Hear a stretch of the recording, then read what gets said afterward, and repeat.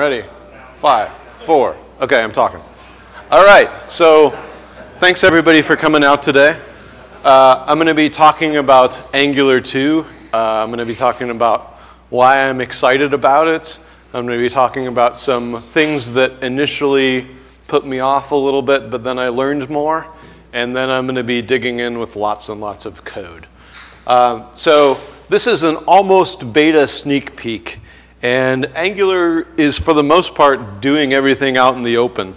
Uh, and it's, it's really easy to track what's going on. And there's a, a website that's uh, worth showing that's basically just using the GitHub API and is tracking every day what the progress of Angular 2 is.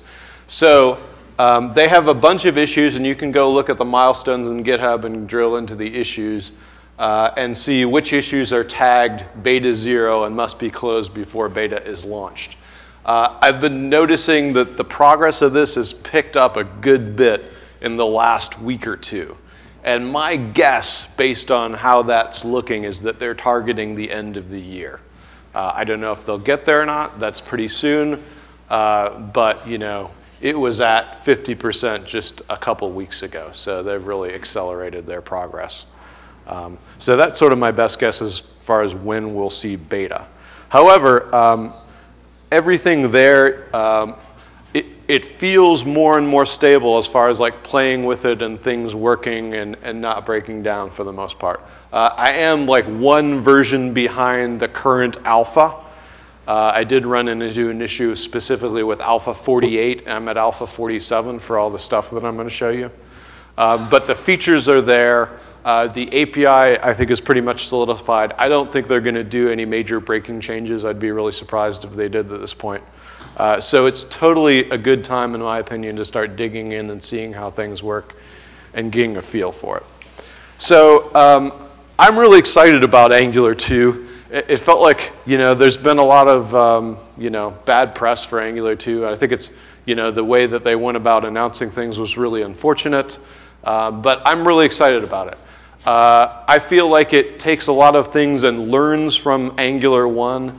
Uh, and it takes a lot of things that were in Angular 1 and then became web standards, and then it reincorporates them into Angular 2 using the web standards. Uh, and I think that's actually really cool. Uh, it ends up that the API and, and stuff is a little bit different, um, but I feel like overall it's definitely a big step forward. Um, I feel like Angular really brings well thought out solutions to um, a lot of the, the things that you're going to need as you build a complex web app. But at the same time, it doesn't, it's not overly prescriptive and I never feel boxed in. Uh, I've used other frameworks where I felt like if they didn't have a solution to my problem, things got really hard. Whereas Angular still adopts the philosophy of here are all the pieces we think you're going to need based on the experience building complex web apps. Here's an easy way to work together with them, but if you, if you want to go a different way, leave a piece out, it's not going to get in your way. Um, I feel like it's still very much focused on simplicity and you know embracing JavaScript, embracing HTML, CSS, the DOM, and not trying to do something different. Um, and I just, I just still like it. Um, so there's some specific things that I've been really excited about that are coming with Angular 2. Uh, I've been tracking web components for a really long time, and I've been super excited about them. When I first started doing web development in 1996 or so, I was really bummed that I couldn't create my own HTML tag. I learned HTML, I was like, okay, I know HTML, that's great, but what if I want to make an element to do something different? And then I found out I couldn't unless I wrote my own browser, and I was really sad. Um, so fast forward almost 20 years, and finally we can do what I wanted to do in 1996. So I only had to wait 20 years, so that's awesome. Uh, but no, seriously, uh, I feel like web components are basically bringing uh, the awesome things in directives and making them a standard. Um, and, uh, you know, uh, I've been hearing most of the frameworks are going to be adopting web components. Uh, I'm not sure what their progress is on it, but Angular really kind of takes the, the path of completely embracing web components. And where you used to have controllers and directives, and sometimes it was hard to figure out which one to use, everything's a web component in Angular 2. Your app itself that you start with is going to be a web component. And we'll see that in a second. Uh, the other thing that I'm really excited about is it really embraces uh, ES 2015 and beyond. Uh, instead of Angular modules, you just have modules because now there's a proper module system in, in ES 2015. So everything you write uh, embraces the module system of JavaScript, which uh, is a huge improvement on the language uh, as far as I'm concerned. It was one of those things where it was just a missing piece that we've been hacking around for a really long time. And having it be part of the language is great.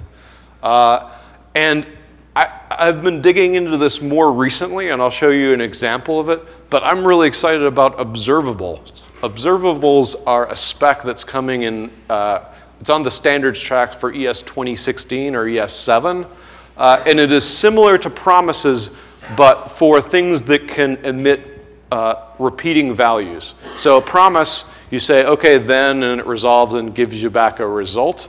But if you have something that can emit uh, zero to n results over time, something that will emit more results over time, uh, observables are a really nice solution to that.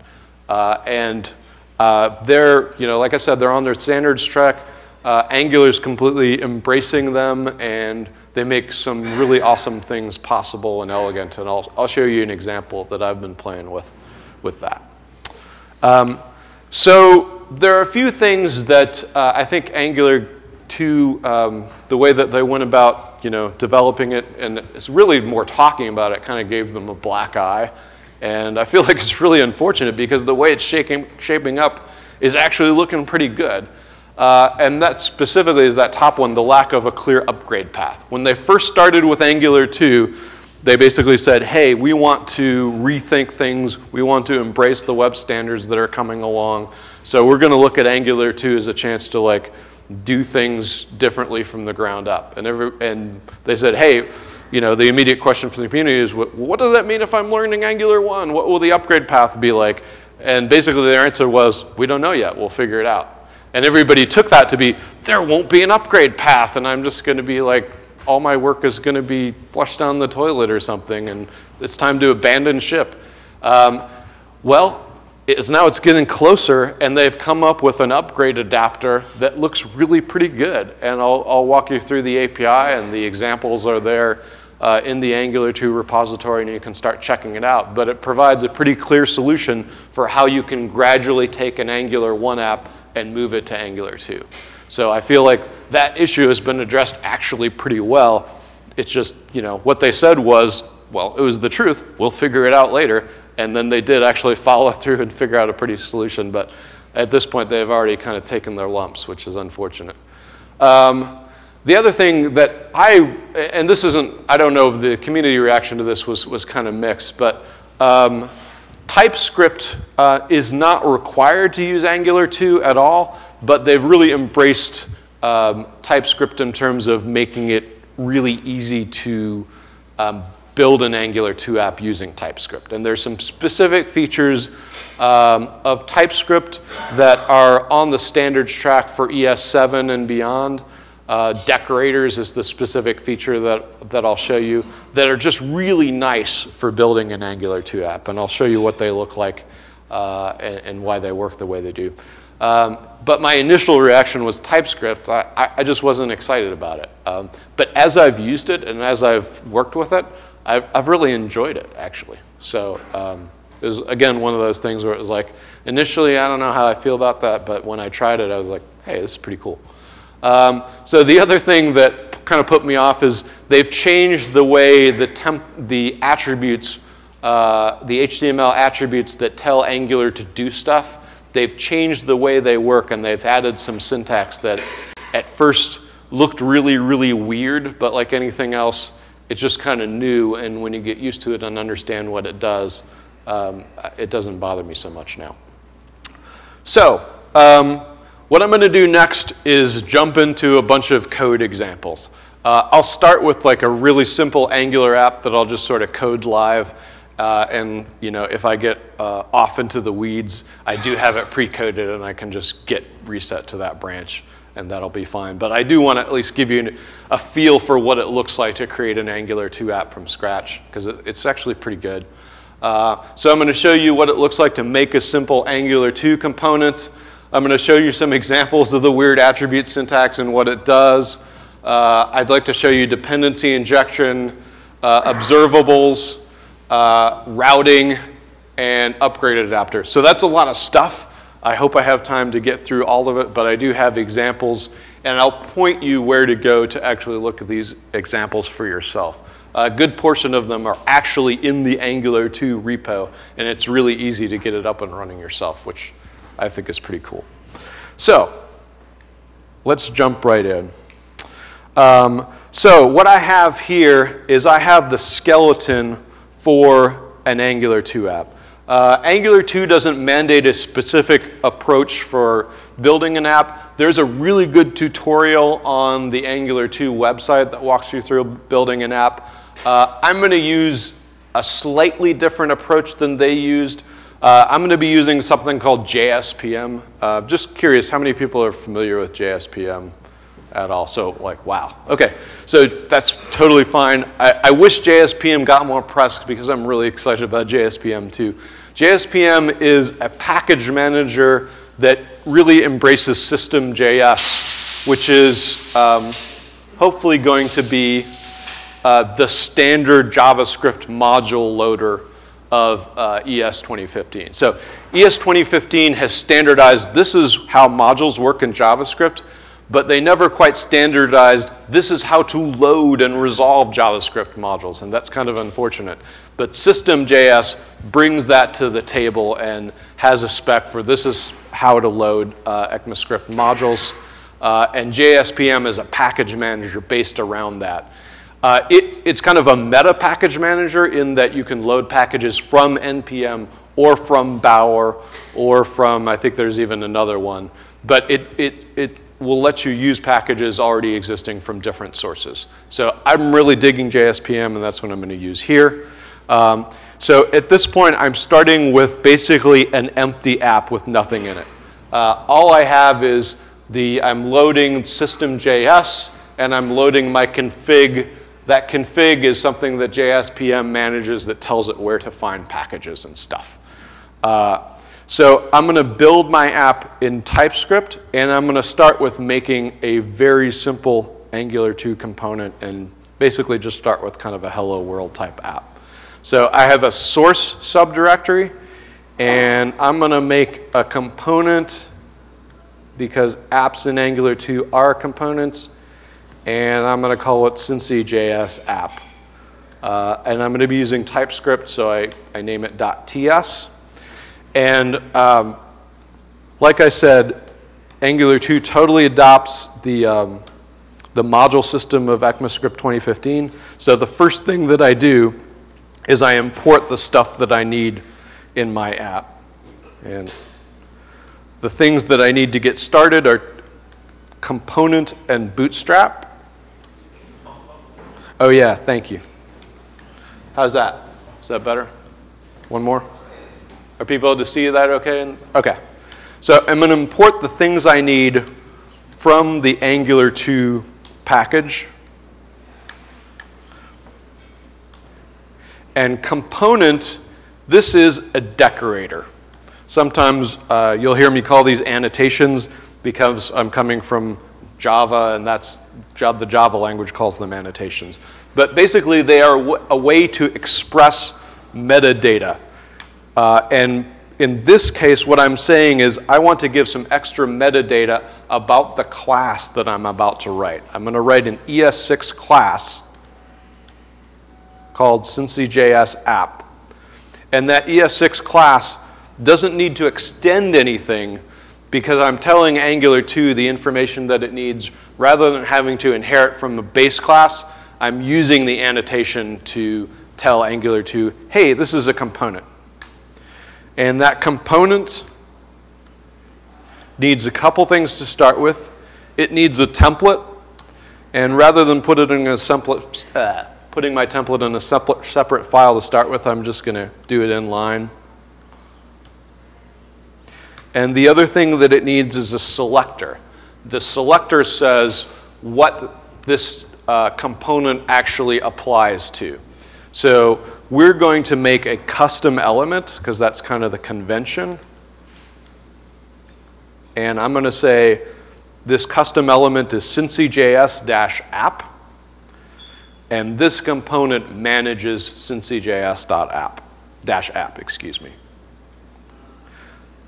So the other thing I need to do is use Bootstrap. Bootstrap is basically just telling Angular 2, here's how to start my app. And I'm saying in this case, the root of my app is this component.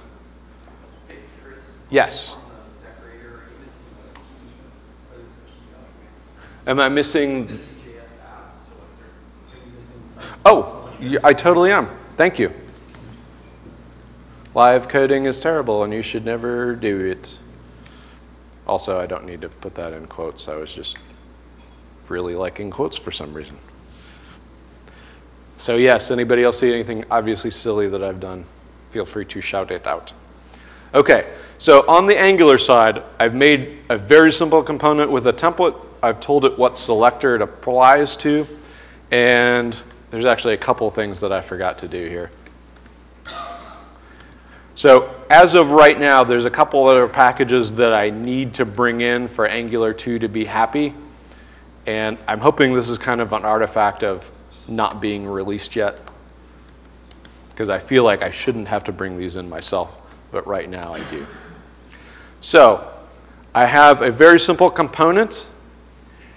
And now what I should be able to do is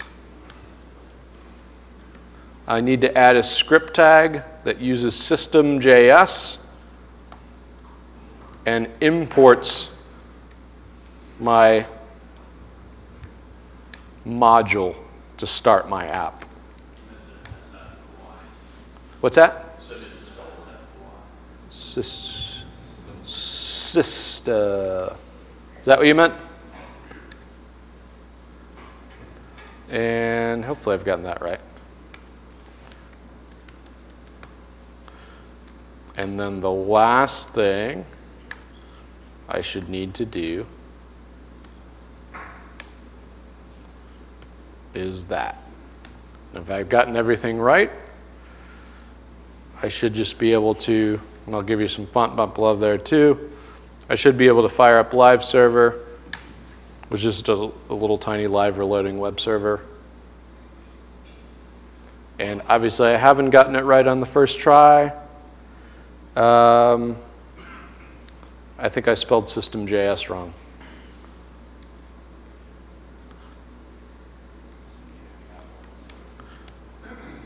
Yeah. I think it's that.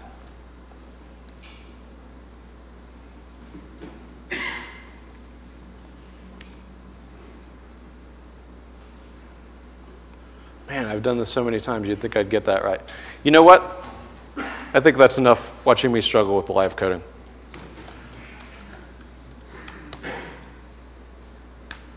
I'm going to git reset hard master and go with the code that I know works already. And now we see a very simple list. And that's a list of a couple elements. And let's go through and see what that looks like. So first of all, Oh man, it was just system.import. Bah! Oh well, that's okay. So this is what I meant to type here. It was pretty close, but I messed it up. And at this point in the code base, I've actually broken down into multiple components. So let me show you what's going on here. It's pretty close to what I have before. It's just gotten a little bit more interesting. I basically moved my template out into a separate HTML file and I added some data into my class here. So in a lot of ways, your class here is, is like your controller was in Angular 1. And it's just as simple to work with. You set data on it, and it's available inside of your template. So in this case, we just have two peeps. They have a name and an age. And inside of our template, we are going to loop over them. So here's an example of some new template syntax in Angular 2. Um, this star weird prefix for the attribute, this is basically telling Angular this is a element that can be uh, cloned multiple times.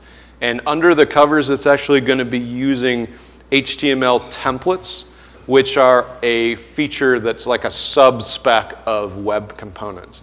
And it's basically a way to just do templates as part of the language itself rather than using a separate templating framework. So it's basically going to see this, turn it into a template, and stamp it out as many times as I have peeps in that list.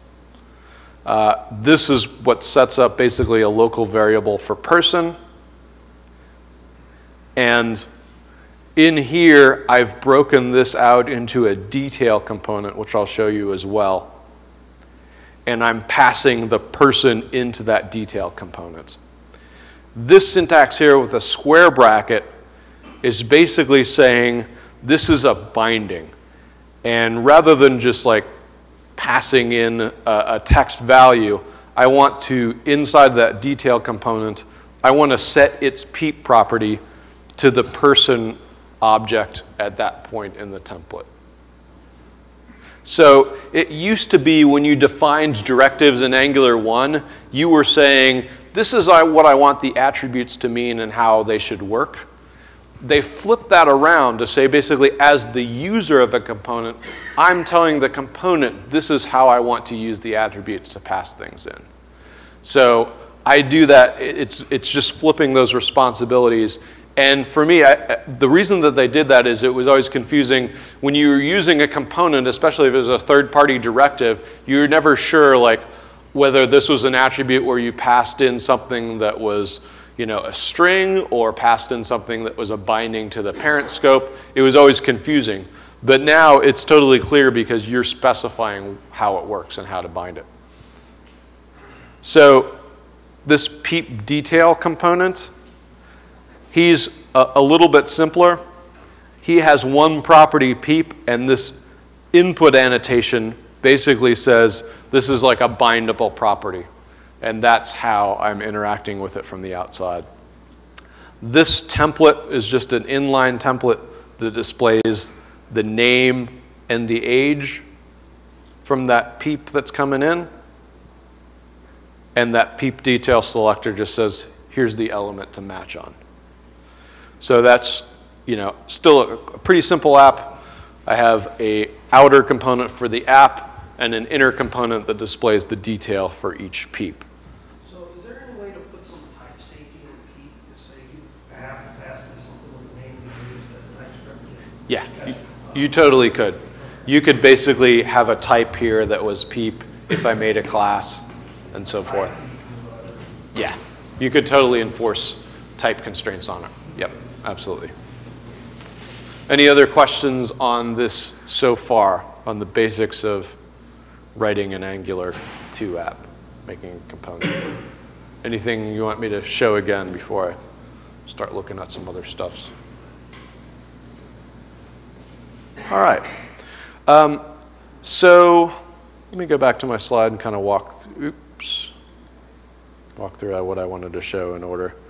Um, so Next, I'm going to walk you through a also a pretty simple app that I wrote, and I'm actually going to do a screencast series walking you through creating it step by step here pretty soon. That's kind of in the works. So, um, for those that are interested, but it's an Angular 2 app that talks to a Phoenix backend, and uh, it it allows me to leverage in Angular 2 some really cool features of Phoenix, and I'll show you that now. So let me stop, uh, if I didn't already, let me stop the server I had over here. And, and I'm going to start up the server inside of my Things app.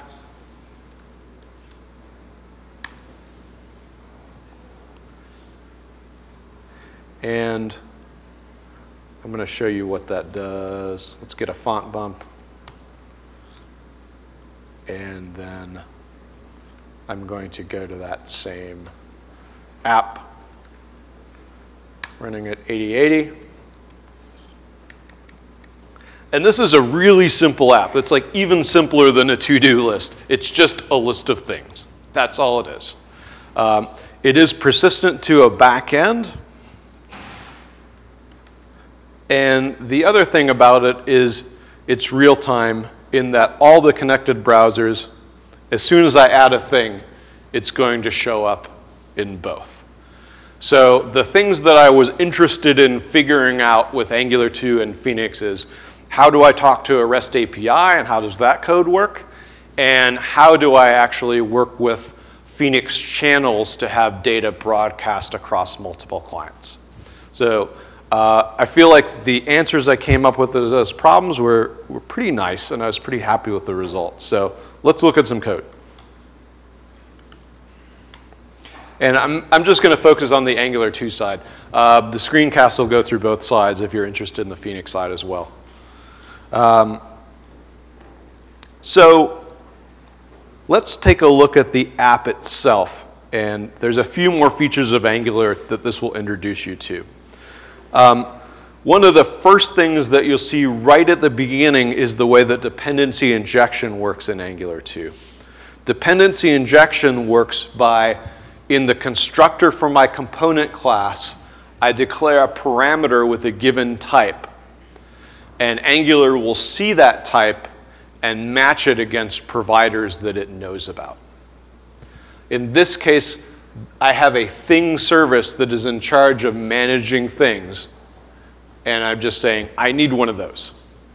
So Angular will give it to me when it instantiates my component. The way that I interact with my thing service is through its API.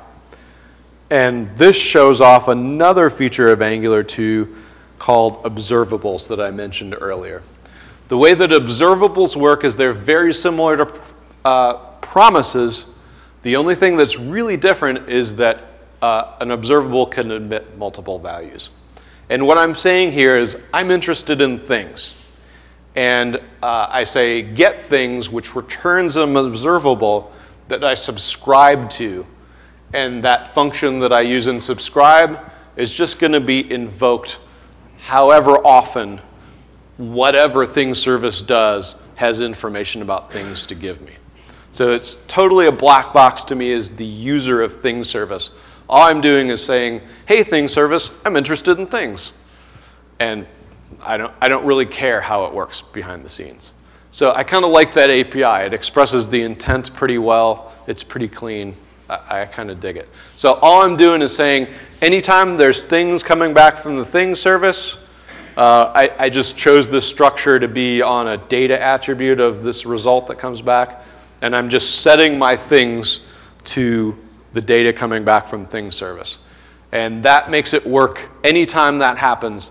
And it's basically thing service job to emit new things. And that's why, you know, when I make a new thing in one browser, it shows up in another. Is because thing service is aware of how to do that.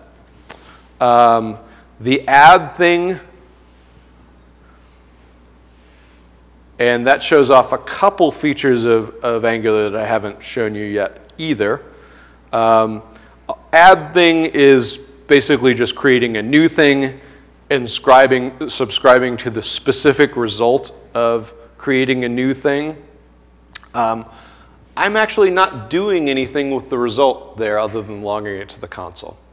And that is because the approach that I've chosen to use here is I'm creating a new thing. I want to know that it worked correctly, but I'm relying on the fact that I'm subscribed to all the things to actually give me my update in the UI. So I'm basically saying, here's a new thing as long as it worked out if I, I don't really care anymore. And I know that wherever I'm interested in things, I'm subscribed to any changes and I'll just see it. So that's why it works in one browser, but it works in multiple browsers too. Um, this is the basic UI for the screen. This is the app.html, and I think I only have one component in this app. And there's a couple of new things worth showing here. We've seen looping over stuff already. That's pretty simple. Uh, but there's two things we haven't seen. This is two-way binding. That weird syntax there uh, where I have the square brackets and the parentheses is two-way binding. And the reason that they went with that syntax is it's basically saying square brackets are one-way binding and parentheses are all about events. So basically I'm saying like binding data down and parentheses are like actions up. So it's really kind of that same data down actions up idea that other frameworks have pioneered, mainly Ember. Um, so that's how to say two-way binding in Angular 2, and it's basically saying I'm binding that input to the new thing's name. And this is event binding, which we also haven't seen yet. Event binding is with the parentheses around the attribute. And it's basically saying the click event of this component. And components can establish their own kind of events. This just happens to be a built-in event. On the click event, invoke add thing. And add thing we saw just delegates to the thing service to add a thing. So any questions on those bits so far? All right. So last, let's actually see um, the thing service and how it's created. Um, so there's one more, I don't know if this is uh, worth going through or not, but I mentioned dependency injection. And um, for the most part, dependency injection can be very, very simple. You can basically say, if I have a class, Angular will just instantiate that class as a singleton and inject it wherever you say that you need one. That's like the simplest form of dependency injection. But in this case, I'm doing something a little bit more complex.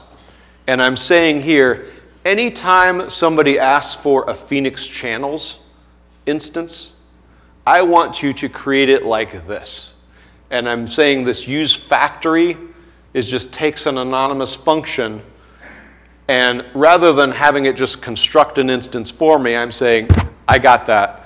And I want to construct an instance where I'm passing in the URL to my backend. So this is the way you create a configurable dependency in Angular 2. It, it, it's not too bad. One quick question about dependency injection. Do they still have a minification problem, or did they fix that? Um, I'm going to punt and say no. Um, I'm trying to think through that, though. I, I thought they said they were gonna do something really sexy with the decorators. I think, I mean, the way that you import and export things in Angular 2 is all based on the module system of JavaScript.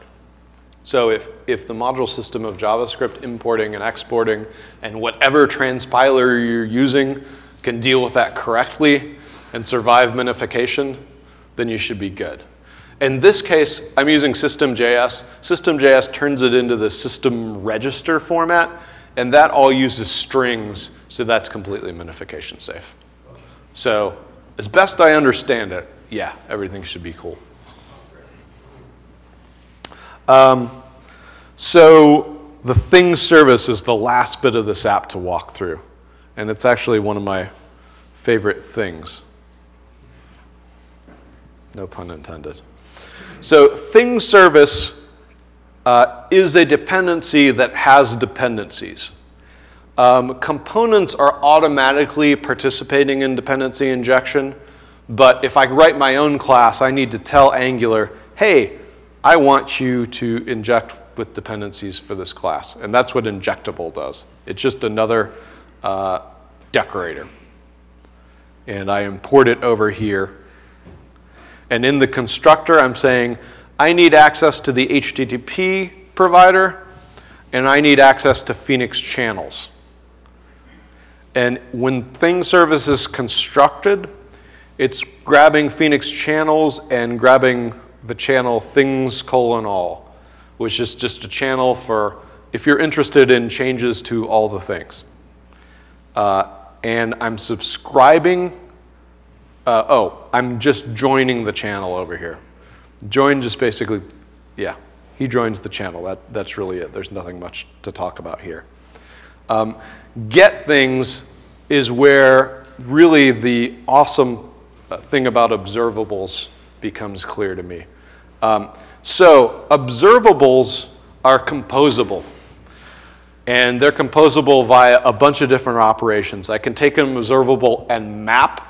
So I'm saying basically anytime somebody emits from the original observable, I want to do something to transform the result and then pass that on to somebody else.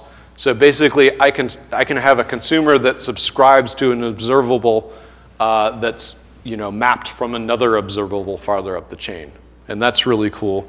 And I do that here in this HTTP observable. I'm basically saying http.get, this call here returns an observable that I subscribe to to get back the result of an HTTP request. But I'm saying, well, that's a little raw. What I really want to do is get back the, the deserialized JSON from that request. And this map call will do that. That map says, uh, take that observable and it, create a new observable based on doing this to transform the result each time.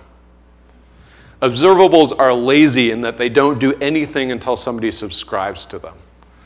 Uh, so if you've used like functional languages, you can, like Clojure, you can think about it like this being a sequence. Um, trying to think of the Elixir equivalent. Somebody help me out. Just streams. Sorry, streams. I thought of it. Okay. So um, lazy sequences, laziness in Clojure, streams and Elixir. This is the same ID showing up in JavaScript. And it's quite powerful. So this is taking one observable and mapping and creating a new one. Um, the other thing that you can do is merge two observables. And that's what I'm actually doing in this method, and it really made me super happy. Um, I'm calling one observable here that says, I want to take that things channel and observe the message change. Anytime Phoenix channels emit a change message, I want to know about it. And I'm taking this HTTP observable and I'm saying, you know, I want to convert the JSON. And then I'm calling something called observable.merge that takes those two observables and merges them into one. I've created my API in such a way that both observables end up emitting the exact same structure which is just an object with a data attribute that is my thing.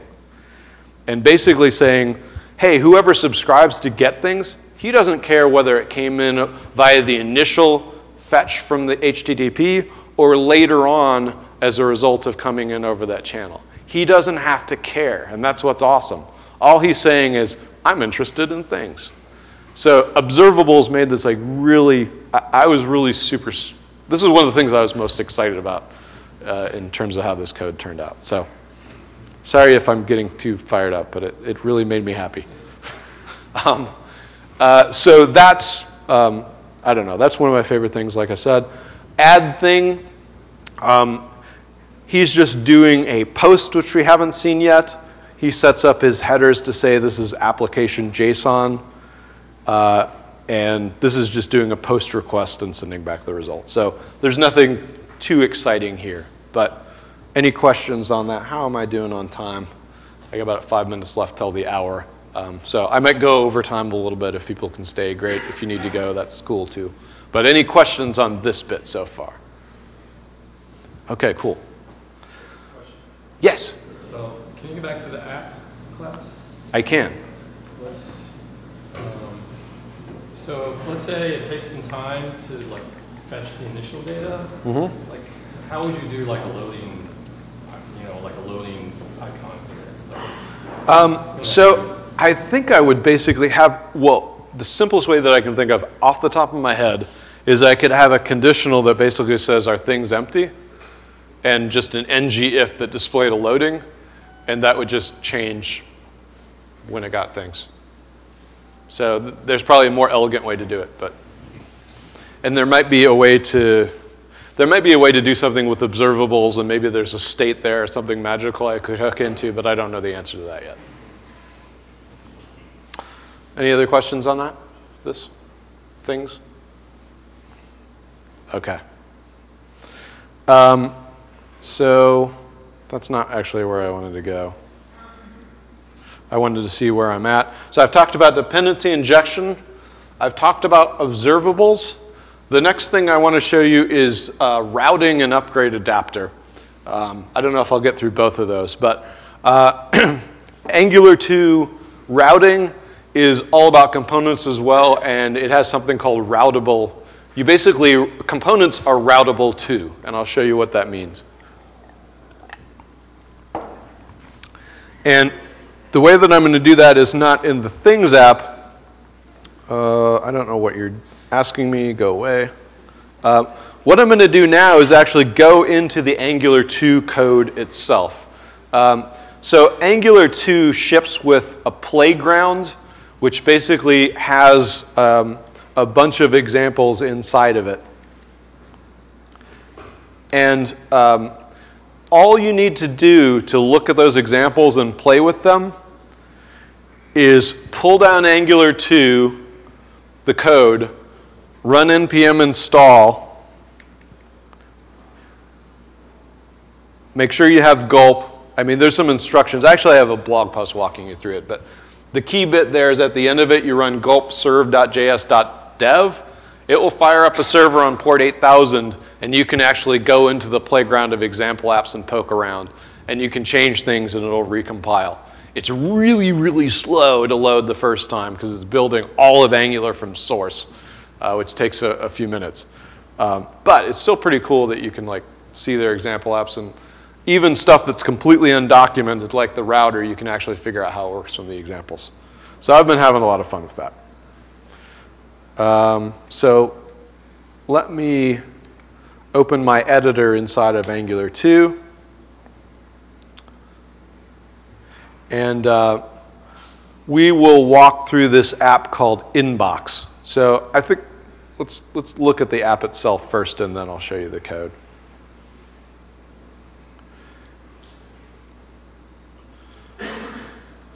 Uh, my browser's freaking out. I don't know why. So when you start out that server and go to localhost 8000, let me bump that. Oh, that's a little too much. You'll see this playground directory. That's where you want to go to see all the examples that shipped with Angular 2. And in that source folder is the apps themselves. And the routing example has this pretend inbox thing. And you can go click on a message, and you'll see the route change to pound detail 2. You can go to drafts, and it'll go to slash drafts. So this is using simple hash-based routing in an Angular 2 app. And let's see what the code for this looks like. Uh, this inbox app is in this routing folder over here. And we'll, it's got a bunch of code in it, but we're going to start at the bottom because that's where routing is configured. The, the way that routing works in Angular 2, you have an annotation on your component called route config, which basically says this is a routable component. And I'm saying here are the routes and the routes route to other components. So I'm saying with the slash route, I want to use the inbox component, inbox CMP. With drafts, I want to show the drafts component, draft CMP. And with this route, which is actually going to a message, I want to go to inbox detail. So that's the way you define your routes. You basically have a path and you have a component. Where's the bootstrap uh, done at, like in the first, last example we showed? Your simple app, Um, so in this case with the, um, they're actually doing something in there to kick off the bootstrap that they have common for all the examples. And I haven't dug in and figured out where that's going on, to be honest. But um, based on kind of inference, oh, let's see. No, it's right here. Okay. I'm a liar. So this is, yeah, so this is kicking off Inbox app. The other thing that you have to do is actually, and I'm glad you said that, thank you, because this gives me a chance to show off another piece of router. I need to actually tell it what routing strategy to use. Uh, in this case, I'm saying just route based on the hash event, and that's why it uses hash instead of HTML5. So the, the you know, anchor pound syntax. Um, so what I wanted to show, um, so this is the config for the route. One more thing I wanted to show, the inbox app inside of his template. Um, one thing that I haven't mentioned yet, um, inside of a component, you need to specify the directives you want to be able to use within that, which I feel like is a little tedious, but that's just the way it works as far as I can tell. And in this case, I'm saying I want to be able to use a router outlet and router link directive inside of my template. And that lets me say inside of inbox.html, that router outlet says, here's where the results of the route change should go. So what that's going to do is when I change routes, it will load a given component into that location on the template. That component itself could have routes and they could be nested on down a chain. Uh, I haven't done anything with nested routes, so uh, I don't have an example to show you there. But because it's a tree of components, you could really go as, as deep as you wanted to. Um, so that's router outlet. The other thing that we have going on here is the router link. And those are just links to slash inbox and slash drafts. I'm not really clear on why they have this kind of awkward syntax. Uh, I feel like they're going to try to try to simplify that as they go along. Um, but the other thing that I did want to show you is how uh, parameters come in. Uh, down at the bottom, I had this detail route with an ID parameter. And the way that works is in inbox detail. Let's go find him. Yeah. In inbox detail, in his constructor, I declare a pendency on the route params service. And route params lets me get a param by its name. So this is what lets me get the ID that I'm, I'm loading the detail about. So that's routing. And it's 103. Any questions about routing? If not, I'll jump in and show the upgrade example really, really quick, and then we'll call it a day. Um, so the upgrade API, there's an example that this is actually like a hybrid Angular 2, Angular 1 app. And you see that you can tell going on that upgrade app has an ng controller on it. So that kind of gives you a clue right off the bat that, hey, this is like something weird. And the way upgrading works when you have a, an app that you're transitioning from Angular 1 to Angular 2 is you use something called the upgrade adapter upgrade adapter. Um, I guess it's worth pointing out a couple of things. The first thing that you want to do even before you try to upgrade your Angular 1 app to Angular 2 is write it in, in ECMAScript 6 and organize it in modules. You're going to want to do that anyway. It's just the way that the JavaScript community is going. And there's really no, no way to, you know, you just have to bite the bullet and do that, I guess is what I'm telling you. But once you do, you can start gradually upgrading pieces of your app to Angular 2. So um, importing the upgrade adapter is the first step. And then you actually are using Angular 1 inside of here, so I'm grabbing Angular from that folder over there. I'm making an upgrade adapter and then I'm writing an Angular 1 app by calling angular.module. So the same way, you know, it's, it's just a, an Angular 1 app, nothing special here. And here, I'm creating a couple Angular 1 bits. I'm creating a controller and a directive.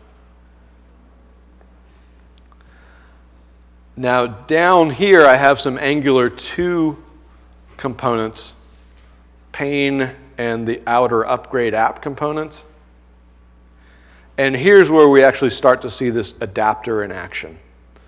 The key things that adapters will do, they will upgrade NG1 components so that I can use an NG Angular 1 directive inside of an Angular 2 components.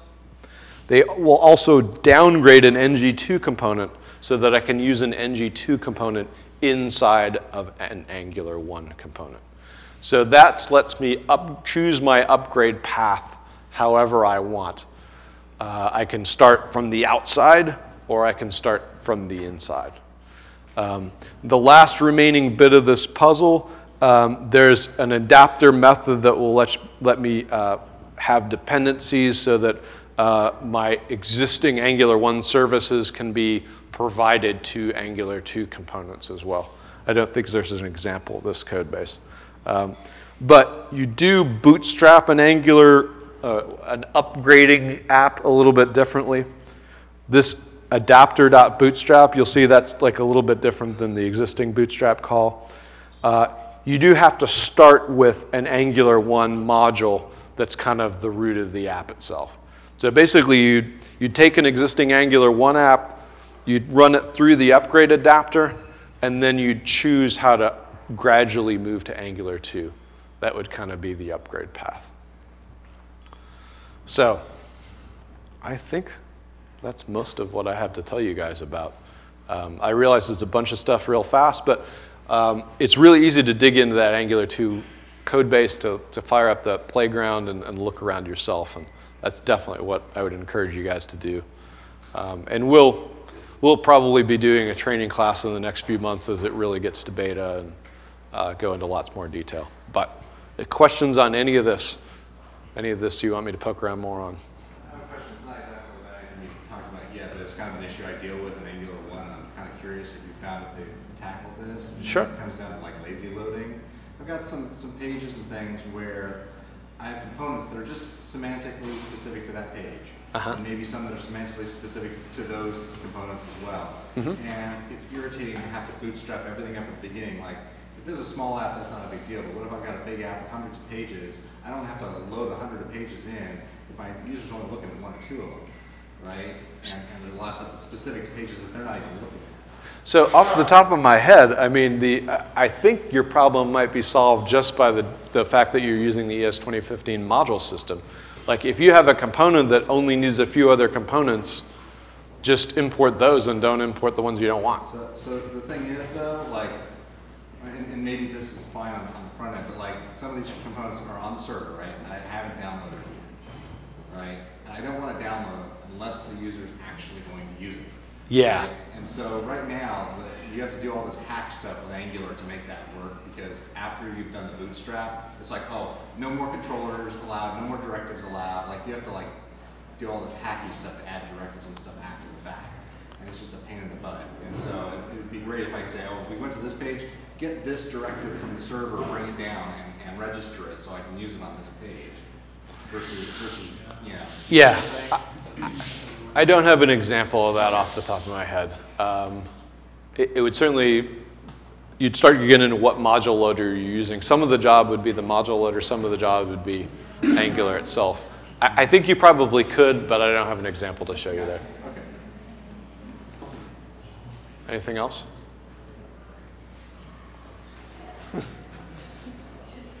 Oh, okay. I'm sorry. This we're done. I want to go meet uh, Jeff's new baby. so thanks everybody. Um,